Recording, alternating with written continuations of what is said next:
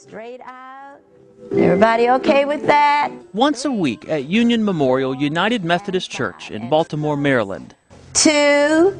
Ernestine Shepherd leads an exercise class for senior citizens. This is what Michelle Obama does to get her eyes looking good. Ernestine is not just their instructor.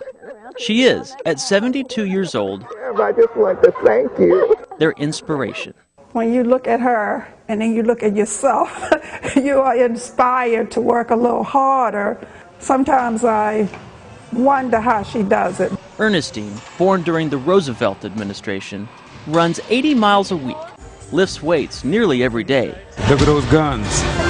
Okay, let's have some fun. and in between, Working the arms. leads classes at her church and gym.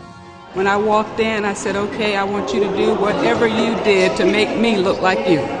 She has a bookshelf filled with trophies, but most surprising is this one from a bodybuilding competition No one was my age. No one was. where she came in first place.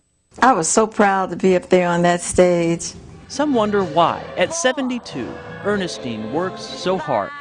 Give me 15. They feel that they can't come into the exercise class. I don't want to come because some want to laugh. I reach out to them to let them know that they too can exercise. Ernestine hopes other seniors will discover a love for fitness. Work those tries. They just hope whatever Ernestine is doing Put your arms out there, honey. is contagious.